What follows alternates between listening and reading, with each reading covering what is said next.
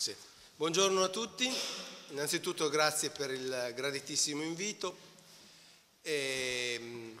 una scusa per i colleghi che hanno già sentito forse buona parte di questo intervento a Trento eh, alla SIF, eh, anche se oggi c'è qualche, pur, pur, dopo soli 15 giorni c'è qualche piccola novità in più, credo abbastanza interessante, per cui eh, non è proprio esattamente la stessa, la stessa presentazione. Eh, premetto, e credo sia importante dirlo in questa sede, che eh, questo, mh, questa ricerca è stata fatta nel quadro di un progetto più ampio in atto a Pisa, progetto che dovrebbe al momento eh, culminare in questo piccolo convegno che facciamo dal 7 al 9 novembre, che credo la SISFA abbia già annunciato sul proprio sito, e che si intitola appunto la eh, fisica e fisici a Pisa nel Novecento, il cui obiettivo è eh, iniziare, in realtà è, non è una conclusione di un progetto ma quasi l'avvio, perché l'obiettivo è quello di iniziare un lavoro sistematico di ricognizione della storia recente della fisica nella nostra sede,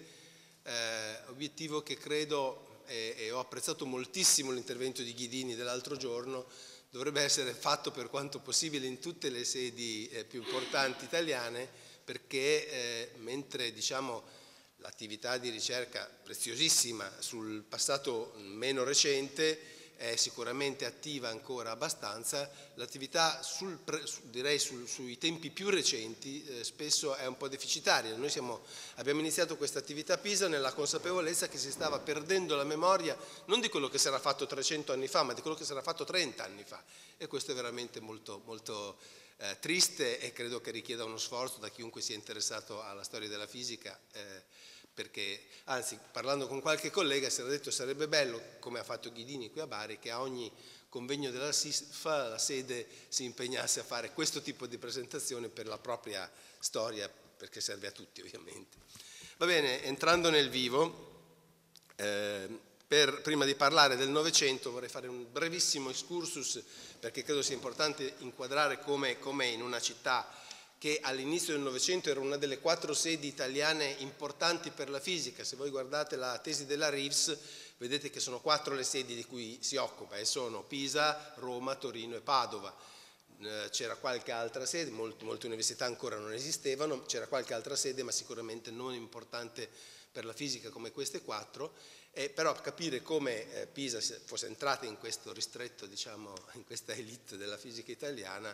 eh, può essere interessante ripensando un attimo a una storia che non è una storia che va molto indietro, perché uno pensa a Pisa la città di Galileo, ma in realtà all'inizio dell'Ottocento la tradizione di ricerca in fisica a Pisa era totalmente o pressoché totalmente perduta. Eh, e qui bisogna eh, fare onore al merito del Granduca Leopoldo II, il quale a valle del primo incontro degli scienziati italiani nel 1839 si rende conto appunto che per la fisica, mentre per altre discipline c'era un'attività di ricerca già in atto a Pisa, per la fisica la situazione era talmente eh, de degradata, non saprei come definirla diversamente, che occorreva un intervento piuttosto eh, massiccio e lui lo fece chiamando più o meno contemporaneamente, intorno al 1840, questi due personaggi che vedete in alto, cioè eh, Ottaviano Fabrizio Mossotti, e Carlo Matteucci, due eh, personaggi fondamentali per la fisica italiana e forse non solo italiana dell'Ottocento, eh, che ovviamente hanno creato una tradizione locale, hanno creato una tradizione eh, che poi è continuata in maniera, diciamo, a sorti alterne. Il loro principale allievo, lo vedete sempre in questa stessa eh, diapositiva, è, è Felici, Felici è un altro dei grandi fisici italiani dell'Ottocento, il suo lavoro sull'induzione elettromagnetica è, è, è un, un, contributo per molti aspetti fondamentale, apprezzato anche all'estero, forse non apprezzato tanto a causa della timidezza del personaggio, che non era uno che andasse in giro a farsi tanta propaganda, ma sicuramente quando si parla di legge di Neumann molti hanno cura di chiamarla come giustamente deve essere legge di Neumann Felici, eh, perché diciamo, c'è sicuramente una, una, una, anzi sotto certi aspetti il contributo di Felici è più pulito e più, è più rigoroso di quello di, degli autori stranieri che, hanno, che, sono entrati su questa materia. Ehm, però Felici, appunto, che era uno timido, che ha fatto scuola ma l'ha fatta in maniera strana, i suoi allievi Reuti, Bartoli, lo stesso Pacinotti se ne sono andati da Pisa, non sono rimasti a Pisa a continuare la sua, la sua scuola, quindi quando nel 1893,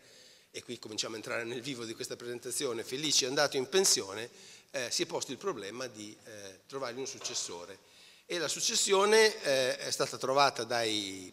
dalla facoltà di scienze di Pisa nella figura di Angelo Battelli. Angelo Battelli, marchigiano di Macerata Feltria, nato nel 1862, che però aveva studiato a Torino con Naccari, eh, poi da Torino, eh, dopo aver lavorato per diversi anni a Torino, era andato in cattedra prima a Cagliari nel 1887, mi pare, poi, no, sì vabbè, poi, eh, no, nell'89 scusate, poi dopo un paio d'anni eh, passa a Padova, sede più illustre ovviamente di quella di Cagliari, per quello che si diceva prima, peccato, mi scusatemi, avevo dimenticato di spegnere il cellulare, eh,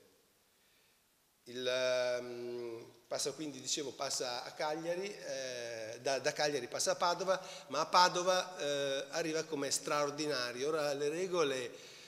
dell'università italiana nell'Ottocento sono un po' diverse da quelle attuali e, e, assomigliano, attualmente queste regole ci sono soltanto, per quanto ne so io, soltanto nelle università pontificie, cioè che in ogni sede c'è un solo ordinario per una disciplina, non ce ne può essere più di uno. Gli altri, che pure hanno lo status di professori, come diremmo noi, di prima fascia, sono straordinari, ma straordinari a vita, tra virgolette, cioè fin tanto che il posto dell'ordinario non si libera. Siccome l'ordinario, che in questo momento è un vuoto mentale, non mi ricordo chi fosse in quel momento a Padova, però eh, era in buona salute, Battelli dopo un paio d'anni di permanenza a Padova nel 93 si fa chiamare a Pisa dove invece il posto era appunto di ordinario e la sede non era certo di minor prestigio. Eh, perché tutte queste, queste premesse? Perché, eh, perché, queste servono per inquadrare la figura di, di Battelli eh, figura diciamo, di persona estremamente attiva, volitiva, eh, impegnata anche politicamente, è stato più volte deputato, l'ultima volta addirittura eh, eletto plebiscitariamente nel suo, eh, nella sua circoscrizione d'origine in, in, eh, nelle Marche, credo abbia avuto il 91% dei voti o robe di questo genere, ma, e quindi ehm, assolutamente diciamo, privo di remore rispetto alla necessità di andare da una parte o dall'altra, è interessante in questa vicenda dei, dei suoi spostamenti che ogni volta smonta il laboratorio che si è costruito e lo ricostruisce nella sede in cui è, si è trasferito, quindi il laboratorio di Torino lo porta a Cagliari, dopo due anni il laboratorio di Cagliari lo porta a Padova e dopo altri due anni il laboratorio di Padova lo porta a Pisa. Questo per inquadrare il personaggio. Perché nella eh, trasparenza ci sono anche quelle due figure? Perché Battelli,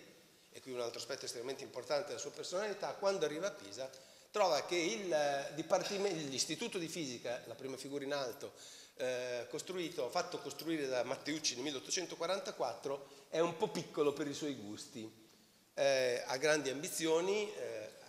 quell'edificio era bastato per 35 anni a Felici, perché Felici aveva due o tre studenti e ci stavano tutti lì dentro, non era un problema, ma per Battelli che ha idee già di, di di chiara espansione, quell'edificio è del tutto insufficiente. E qui attenzione alle date. 1 novembre del 93 Battelli arriva a Pisa. A marzo del 94 scrive al Consiglio di amministrazione dell'università per dire eh, questo istituto è troppo piccolo, bisogna che me lo allarghiate.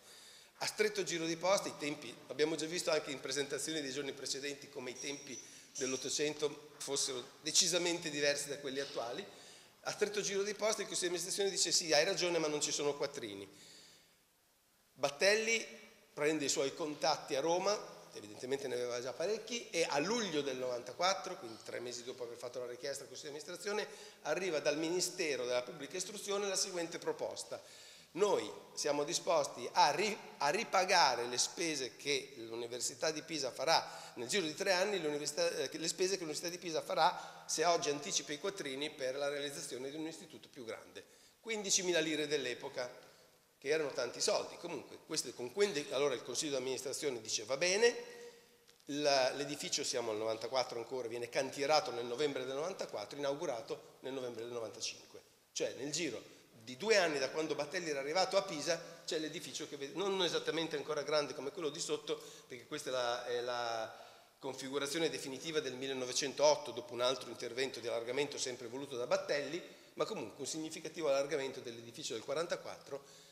fatto in, in tempi assolutamente, oggi impensabili ovviamente, oggi impensabili, soprattutto impensabili i tempi burocratici, pensate appunto a, uno, a un carteggio eh, istituto, eh, università, ministero, di nuova università, di nuovo istituto perché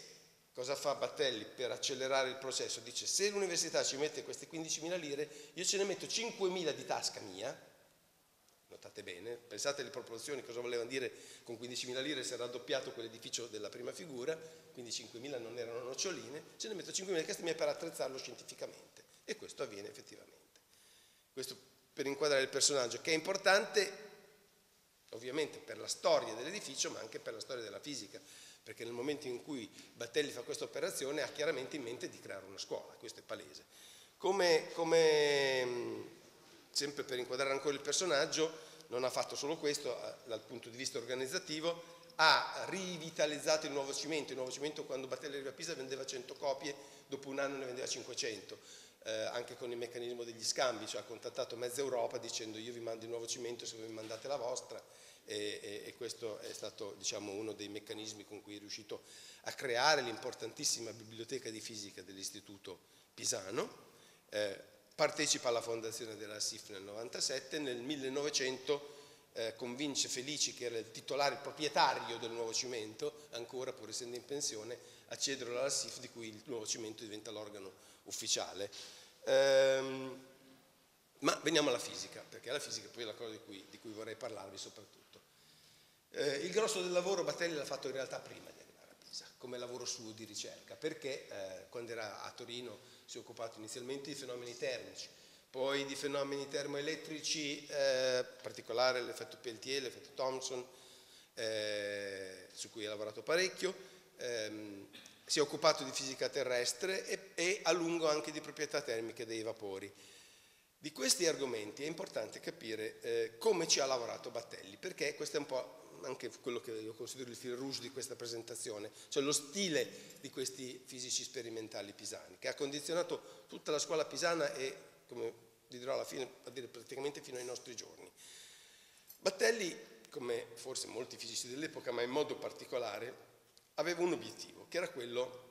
non di fare delle teorie, ma di verificare le teorie altrui e decidere quali erano giuste e quali erano sbagliate. Quindi il suo obiettivo era fare eh, per quanto possibile gli esperimenti più precisi possibili sul mercato. Il suo era un obiettivo di, di, di, di, misurazioni fini, di misurazioni di grandissima accuratezza che permettessero, ad esempio per questi fenomeni di cui vi ho appena parlato, di decidere tra le varie proposte, all'epoca ce n'erano diverse, c'era molta fenomenologia, diciamola, chiamiamola così, in giro per l'Europa, eh, nel quadro di queste, di queste proposte teoriche che erano praticamente tutte non italiane, notate bene, perché questo stile era abbastanza di, di, di, dare un peso minore alla fisica teorica, in Italia era abbastanza diffuso. Bene, tra tutte queste eh, teorie decidere qual era quella più, più, più, più, corretta. E questo è stato il, gran parte del suo lavoro, sia per i fenomeni elettrici, sia per le proprietà termiche dei vapori, ha lavorato sull'equazione di Clausius, eccetera. Interessante il fatto, proprio per capire come lavorava, che queste memorie sulla fisica terrestre, che non sono poche, vedete 14, in realtà a differenza di tutte le altre attività di Battelli sono estremamente poco interessanti. Perché? Perché non c'era una teoria da verificare. Lui si è occupato di fisica terrestre perché evidentemente per un po' lo ha affascinato l'argomento, ma la mancanza di una teoria di riferimento ne ha fatto un, uno sperimentatore abbastanza vuoto, non, non, non, non aveva qualcosa, un obiettivo specifico su cui andare a fare la misura, allora raccoglieva dati, ma li raccoglieva, come dire, un po' a casaccio, sempre con la stessa accuratezza sperimentale, ma senza mai trovare un filo conduttore in questa ricerca. Lo, il confronto appunto dei suoi lavori di fisica terrestre con quelli ad esempio sulle proprietà termiche dei vapori è clamoroso da questo punto di vista, ma ci dà una traccia di lettura del tipo di fisica, di tipo di mentalità che, eh, che poi ha condizionato un'intera scuola. Quando arriva a Pisa, continua per un po' a lavorare, molto meno di prima, molto meno di prima, eh, primo, la prima fase è interessante perché poco tempo dopo che Battelli è arrivato a Pisa arriva anche un allievo più giovane di Naccari, Garbasso, che ha una decina d'anni meno, meno, di Battelli, e si trovano insieme all'inizio del 96 a Pisa, eh, con, eh, leggendo sul giornale, perché veramente è andata così la storia, il giornale Corriere della Sera del 12 gennaio del 96, la notizia che Röntgen ha trovato i raggi X sostanzialmente, notizia giornalistica, non è che fosse un articolo scientifico.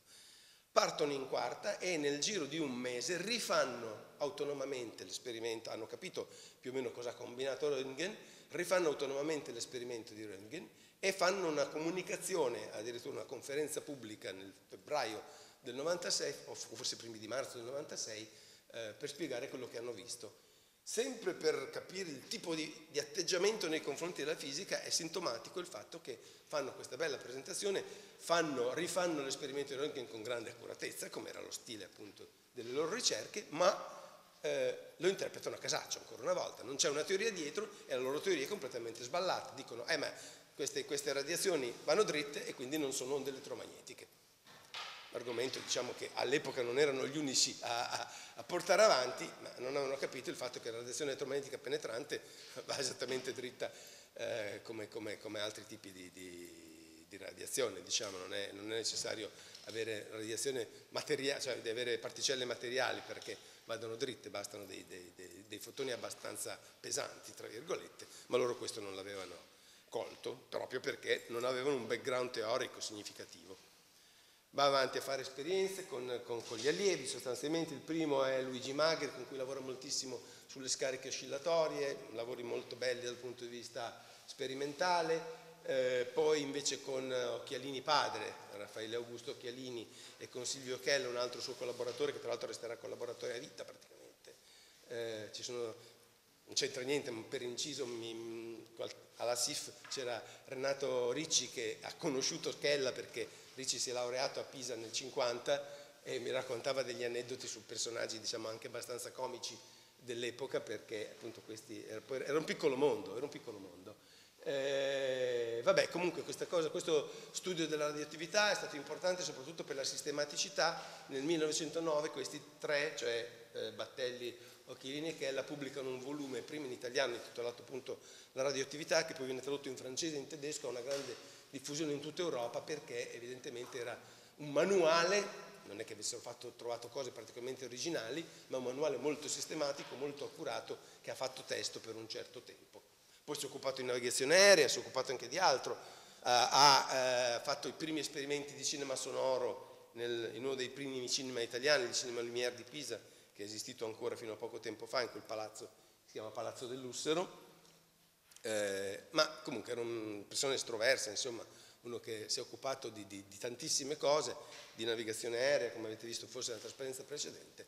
e soprattutto ha fatto, ha fatto scuola. Ha fatto scuola in che misura? Vabbè, a parte Garbasso che era un collaboratore, non un allievo, eh, ha laureato 74 eh, studenti, non, non, è un piccolo numero per l'epoca, eh, di questi 74, voi qui vedete una lista dei principali, di cui eh, tutti quelli che hanno un nome in rosso di fianco sono diventati cattedratici. Insomma, in sintesi, eh, guardando questa lista, stiamo parlando, e se voi prendete l'elenco dei cattedratici di fisica, fisica sperimentale, beh poi c'era solo la fisica sperimentale all'epoca, nel 1930, a parte la cattedra dei fermi, c'era solo la fisica sperimentale, beh un quarto dei cattedratici di fisica sperimentale italiani sono allievi di, di Battelli, il che non è poco, ovviamente. Eh, non è poco anche perché diciamo, alcuni di questi poi non sono eh, come dire, dei passanti, cioè da, da, da, da Occhialini stesso a, a, Perucca, alla Rita Brunetti, Pierucci forse una figura un po' minore, comunque a Modena ha avuto la sua importanza, e Puccianti che poi sarà la, la, il, colui che prenderà il posto di, di, di Battelli quando nel 1916 Battelli muore abbastanza giovane di nefrite non curata eh, ma non ci sono solo i cattedratici, eh, ci sono non meno di questi 74, non meno di 27, è una stima per difetto perché è difficile trovare tutte le informazioni in materia, diventano professori di scuola media superiore, eh, quasi la metà pubblicano almeno un articolo sul nuovo cimento, voi dite facile, padrone, eh, Battelli era padrone del nuovo cimento, però evidentemente, siccome anche una persona che aveva un certo senso critico, se gli faceva pubblicare la tesi vuol dire che proprio schifo non faceva. E quindi diciamo è una, una stagione di formazione, non soltanto di ricerca, che forse non è stata la ricerca più memorabile della storia della fisica, ma di formazione di una, di una generazione di fisici sperimentali che poi ha impattato non marginalmente sull'intero sistema eh, formativo nazionale. Diciamo. Ehm, ma come dicevo, il secondo personaggio di cui volevo parlarvi oggi è Puccianti, il quale, allievo di Battelli, eh, perché c'è quel libro di fianco? Quel libro di fianco perché Puccianti è un personaggio nato a Pisa che si inserisce in un contesto mh, locale molto più eh, compatto, eh, di, cioè Battelli veniva da fuori sostanzialmente, poi i suoi riferimenti sono rimasti a lungo anche fino alla fine della sua vita nelle Marche. Eh, invece mh, Puccianti era figlio di un letterato, appunto il libro che purtroppo non si vede la copertina è un'opera del padre che commenta le poesie del Giusti, eh, commenta le poesie del Giusti eh, facendosi dare informazioni da un personaggio che eh, qui diciamo, richiamo qualcosa che è stato menzionato in questi, eh, in questi giorni proprio qui a Bari, che eh, un altro letterato che è Ernesto Allegretti. Chi è Ernesto Allegretti? Ernesto Allegretti è appunto un, letterato pisano di non grandissima importanza che parla col padre di Puccianti e gli racconta le storie del Giusti perché veniva come il Giusti da Pescia ed è il padre di Mario Allegretti, un fisico che poi laureato eh, insieme a Puccianti con Battelli, che poi diventa il preside del, del, del liceo eh, di Pisa ed è padre di un altro fisico ancora che avete sentito nominare, che qui a Bari ha avuto la sua importanza, è il padre di Lamberto Allegretti, quello che nel 1946-47 è venuto qui a Bari e ha trovato la sede per il nascente istituto di fisica eh, barese. Quindi tutta una, una, rete di relazioni estremamente interessanti. Lamberto Allegretti, laureato con Puccianti ovviamente, eh, erano praticamente una grande famiglia allargata di, di, di, fisici e altri, e altri, studiosi locali che eh, non si può chiamare nemmeno nepotismo accademico perché poi appunto non erano persone diciamo, che non meritassero di fare la carriera ma che sicuramente erano facilitate nella, nella loro attività da questa anche rete relazionale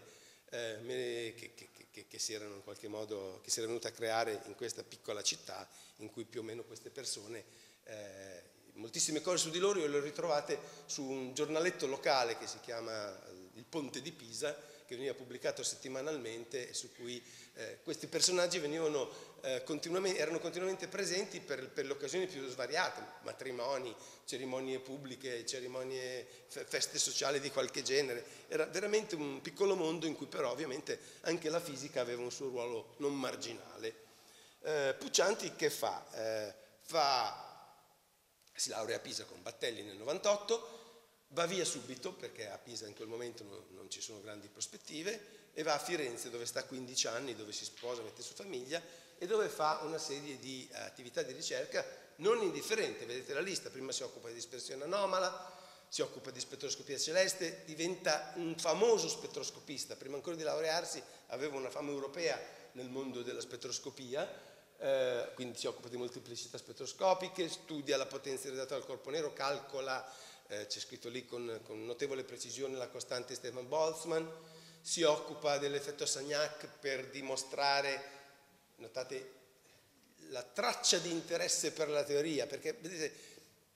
al, allievo di Battelli, come Battelli ha la stessa visione della fisica, cioè che bisogna fare degli esperimenti molto precisi, molto raffinati per verificare le teorie altrui teorie non si fanno in casa, si vanno a prendere in Germania. E, e vabbè, le, però, però diciamo con attenzione anche a quello che sta succedendo al mondo. Non è che vive diciamo, in una nicchia in cui si fa solo la solita vecchia storia. L'effetto Sagnac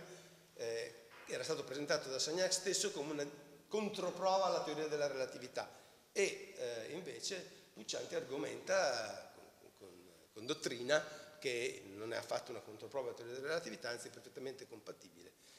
Eh, in quegli anni Camerlingon si scopre la superconduttività, lui se ne occupa un po', soprattutto si appassiona alla teoria di Ampère del magnetismo, perché è importante? È importante per una battaglia culturale fatta da Puccianti, che io sottoscrivo tuttora oggi, a favore del CGS contro l'MKS,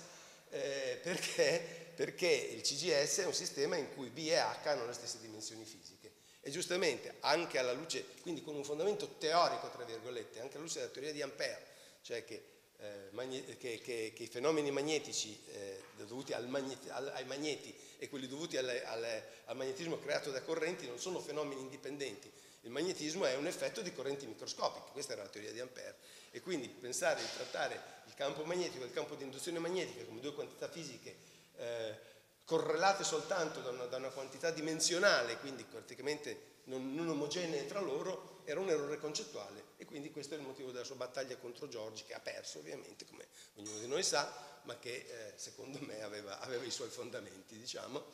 Eh, quando arriva a Pisa gli è già passata la voglia di lavorare, qualcosa fa ancora, ma qui viene la, la, la, la cosa che mi piace segnalare, cioè questo personaggio che diciamo dopo il 17 non è che abbia più scritto gran lavori, è un piccolo, un piccolo elenco, ma un piccolo elenco di cose, attenzione bene, che non sono lavori, ma suggerimenti. Perché Puccianti, che è scomparso dai, dalla gran parte dei libri di storia della fisica, in realtà ha un diritto di cittadinanza tutto particolare per le cose che ha suggerito ad altri fisici, che poi altri fisici hanno fatto, e quindi certamente il merito è di chi le ha fatte, non c'è dubbio, ma che evidentemente nella sua eh, intelligenza fisica, motivata anche da quell'atteggiamento culturale verso, nei confronti della, del, degli esperimenti e, de, e, della, e, della, fisica sperimentale che ho cercato di mettere in evidenza, lui aveva questa capacità di cogliere qualche punto fondamentale. Ad esempio, lì ci sono due cose. Una è quella della lunghezza d'onda dei raggi X. Puccianti capisce che eh, il problema dei raggi X è che essendo tanto penetranti, se uno li manda per misurarne la lunghezza d'onda, li manda con esperimenti di diffrazione perpendicolarmente, quelli vanno dritti, eh, perché ha bisogno di un passo reticolare più piccolo. Come ottiene un passo reticolare più piccolo? Mandando i raggi X, suggerendo a Carrara, suo allievo, di mandare raggi X radenti rispetto al cristallo, non perpendicolari al cristallo e trova, un, cioè sulla base del suo suggerimento, poi Carrara trova un modo di effettuare questa misurazione con una tecnica che poi per diversi anni è stata, è stata utilizzata anche a livello europeo per fare questo tipo di misurazioni. Ma la cosa, la novità appunto che mi è stata segnalata da qualcuno e poi dopo di cui ho approfondito un attimo, eh, scusate, eh, no, allora è l'altra direzione, eh, è questa che nel 1930 Puccianti suggerisce a eh, Bruno Rossi questa tecnica, la lente magnetica. La lente magnetica sono eh, due mh,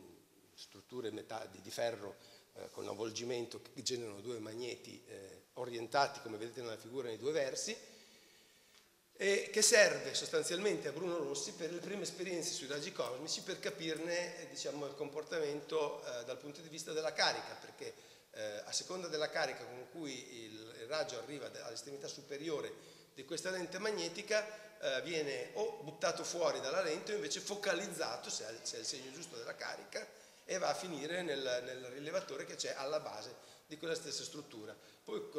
l'apparato viene perfezionato da, da Rossi con questa disposizione a triangolo che serve per capire se c'è un primario o un secondario, ma questo è un aspetto ulteriore. La cosa fondamentale appunto è che l'idea della lente magnetica è un'idea di Puccianti.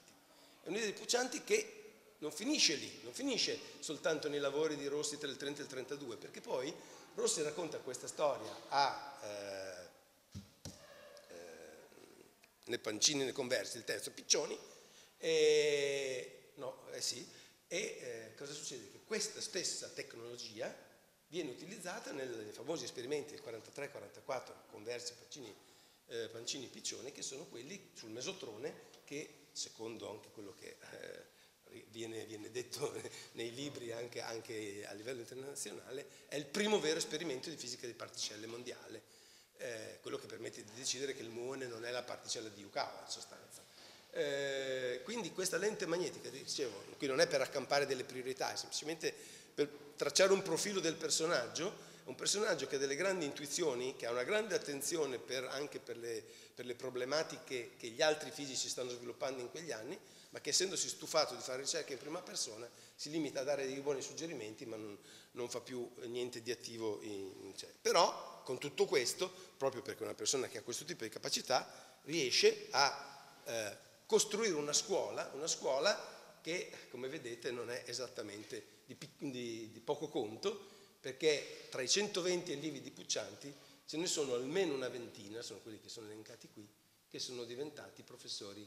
eh, ordinari di fisica, fisica sperimentale ancora una volta, eh, beh qualcuno anche teorico come vedremo, eh, e eh, ancora una volta, qui ci spostiamo di 30 anni, se andiamo a vedere l'elenco dei professori di fisica del 1960, troviamo che di nuovo un quarto dei professori di fisica sperimentale italiani sono allievi di Puccianti, per dritto o per rovescio, Ora certo, qualcuno di questi non è esattamente allievo di Puccianti, nel senso che magari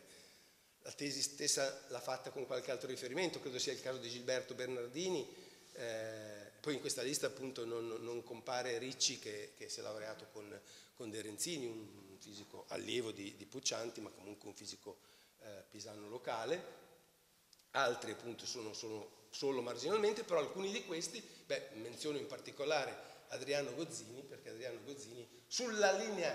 e sulla metodologia di fare fisica di Puccianti, Gozzini era tipico per questo, per questo, sotto questo profilo, anche lui era totalmente disinteressato alla teoria, ma totalmente interessato alla perfezione dell'esperimento.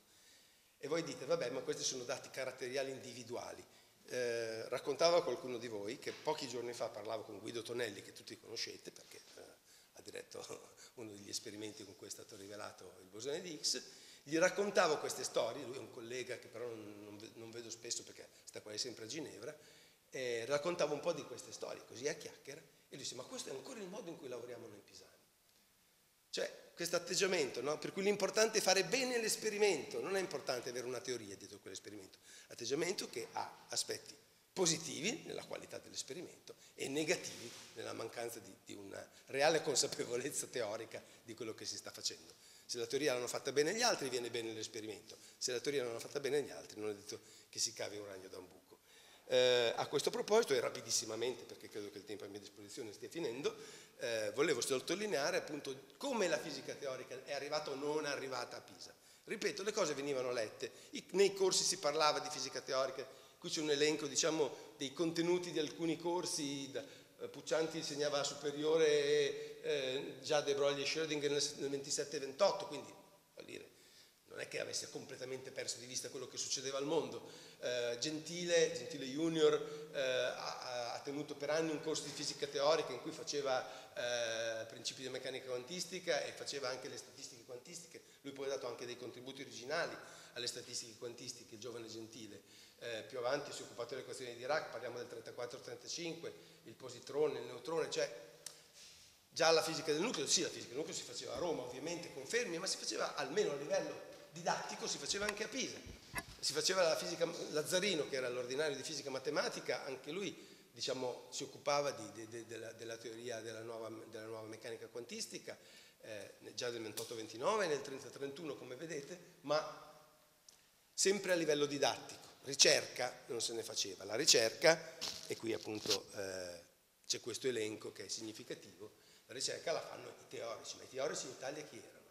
Lo sappiamo com'è andata la storia, c'è stato il primo concorso del 27, quello vinto da, da, Fermi, Pontremoli che poi è morto subito, e Persico, che sono, nessuno di loro certamente è andato a Pisa, eh, c'è stato un secondo eh, concorso nel 37, eh, più la nomina, eh, diciamo, onori, come si dice, per chiara fama di Majorana, che di nuovo ha visto eh, Gentile andare a Milano, Vic a Palermo, e poi dopo si è spostato rapidamente a Padova, e, e, e Racca a Pisa.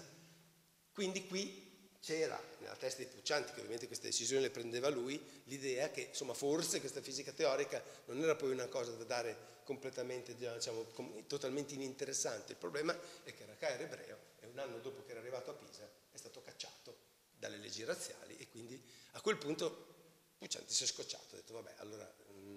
non vale la pena, lasciamo perdere, lasciamo perdere e cosa ha fatto? Ha dato il corso di fisica teorica a De Renzini, bravissima persona, mi dice Renato Ricci, che si è laureato con lui,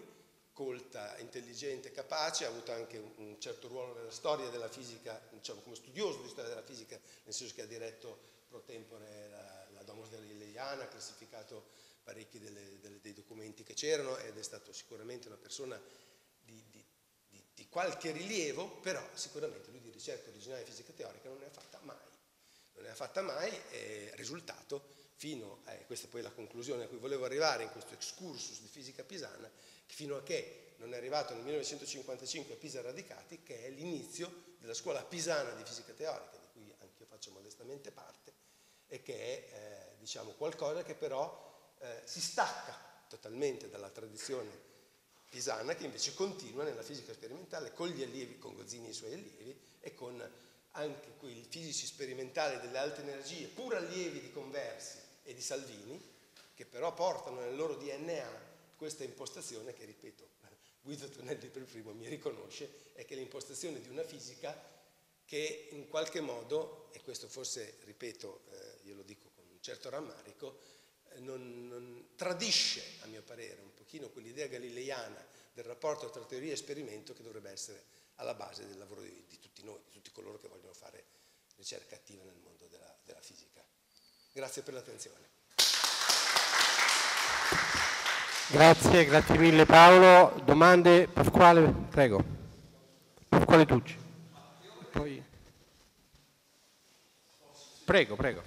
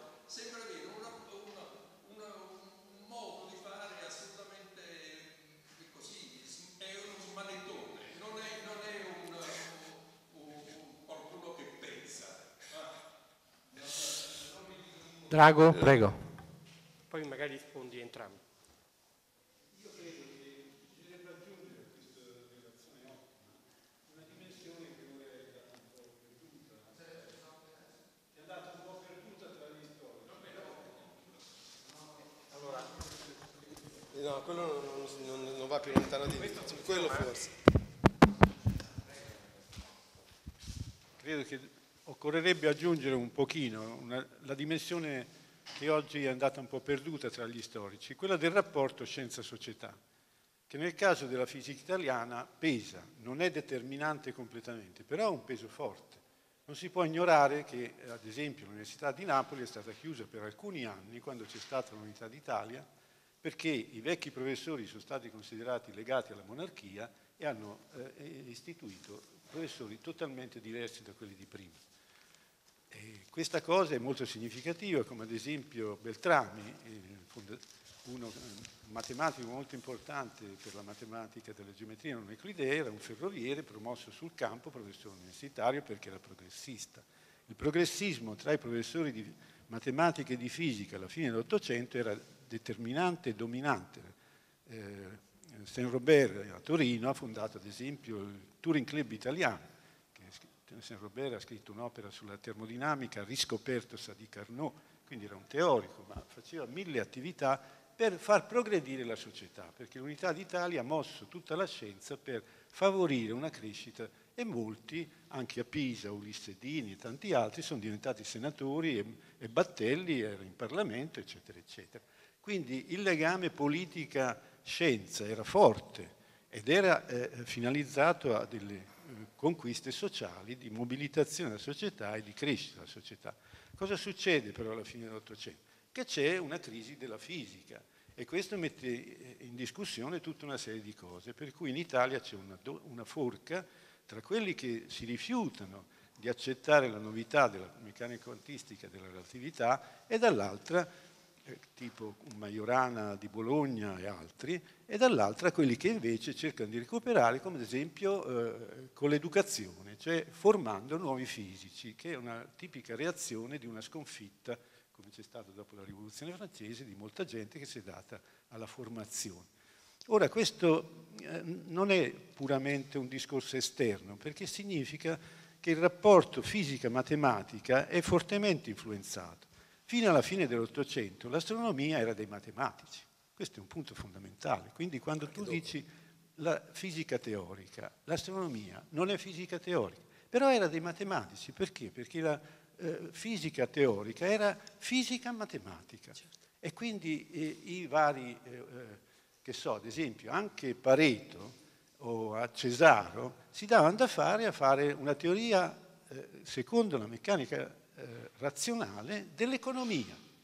Quindi c'era teoria, ma era una teoria che veniva direttamente dalla matematica e si applicava come un cappello sopra la realtà, fisica o economia o astronomia che fosse, mentre ai fisici restava la parte sperimentale. A Napoli restava la geofisica, e la città dove si studiavano i vulcani internazionalmente. Quindi in questo senso c'è un rapporto fisica-matematica che cambia solo quando arriva la meccanica quantistica in forze e porta avanti un discorso di fisica-matematica totalmente diverso e sul quale i vari Voltaire o altri personaggi sono incapaci di seguire. Solo Hilbert fa lo spazio di Hilbert e recupera il rapporto fisica-matematica su, sotto il suo aspetto, ma oltre Hilbert e la scuola di, eh, tedesca non c'è un recupero da parte dei, dei, matematici di questa nuova scienza. Poincaré era già passato. Quindi in questo senso, quando tu dici la fisica teorica non c'era, eh, non devi dimenticare, secondo me, che c'era un'astronomia che pure funzionava in termini teorici. E in secondo luogo che tutto questo dipende da una dimensione esterna, se vuoi, alla professione dei fisici, ma alla quale i fisici partecipavano molto fortemente. Se posso rispondere rapidamente due battute. Allora, eh, mi dispiace se ho dato l'impressione di aver presentato gli sperimentali come degli smanettoni. Io volevo sottolineare invece la grande qualità del loro lavoro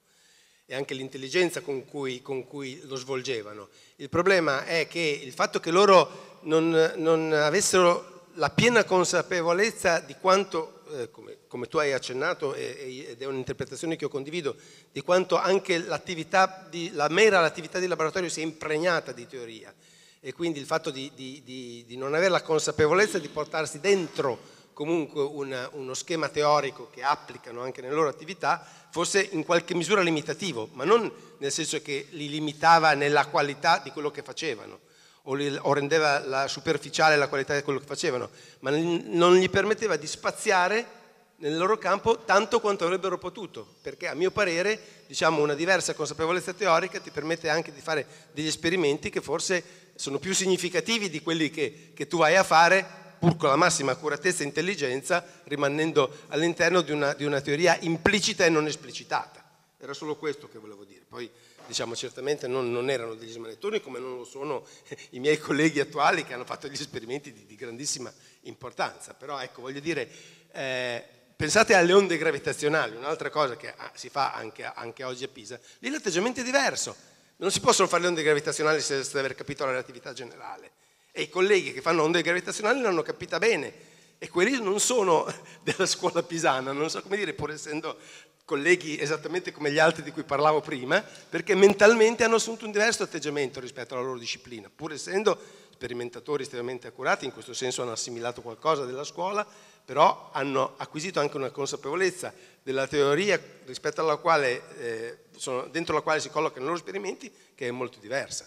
Io devo dire a qualche collega di, di, di, che ha fatto esperimenti al CERN, ho sentito dire delle sciocchezze teoriche da dare a capriccio, eh, vabbè, eh, pazienza pazienza però, ma non, non perché sono, non li voglio sminuire, veramente, hanno fatto un lavoro grandioso, ma secondo me potevano fare, tra virgolette, di più, eh, con una diversa consapevolezza teorica. Quanto quello che diceva eh, Drago, sono totalmente d'accordo che c'era la fisica matematica, il problema è che non si parlavano. L'unico caso di persona che ho citato prima, Felici, che parlava con Mossotti, fisico-matematico, e con Matteucci, fisico sperimentale, ha dato come esito le teorie di Felici che sono della buona fisica sperimentale impregnata di fisica teorica, però quella, quella linea di pensiero è scomparsa con lui. Quindi non è che non ci sia stata. Il rapporto è, così ovviamente come, come, c'è stato un rapporto con la società molto pesante, cercavo di accennarlo anche un po' folcloristicamente con queste relazioni, ma erano persone immerse nella società in cui vivevano, eh, che però non sempre si traduceva in un comportamento diciamo di piena integrazione eh, tra, tra le discipline e, tra, e quindi di pieno sviluppo di potenzialità. Grazie ancora. Sì, molto interessante. L'ultima cosa, una curiosità, quando tu hai detto che nel 1930 più o meno un quarto di tutti i cattedratici derivavano dall'insegnamento di Battelli, eh, mi, mi, fa mh, ritornare in mente che in quel periodo i testi più diffusi di fisica erano il Battelli e il Murani e quindi questo torna perfettamente con quello che tu dici. Grazie. Grazie a te.